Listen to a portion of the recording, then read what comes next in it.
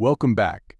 Today we're going to learn how to add a fingerprint to Google Wallet, making it super easy and secure.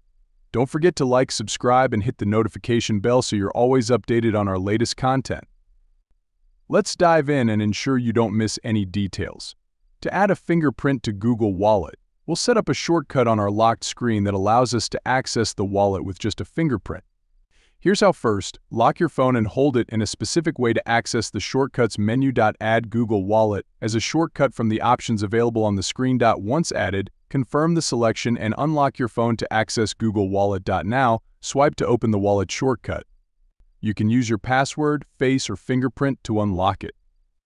To set up the fingerprint, navigate to Settings Security and Privacy Lock Screen Fingerprint. Add your fingerprint by following the on-screen instructions. You may need to press your finger on the sensor multiple times from different angles. Once added, unlock your phone again and use your fingerprint to access Google Wallet seamlessly.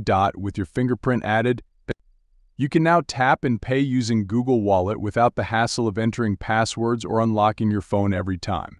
We hope you found this tutorial useful. See you in the next video.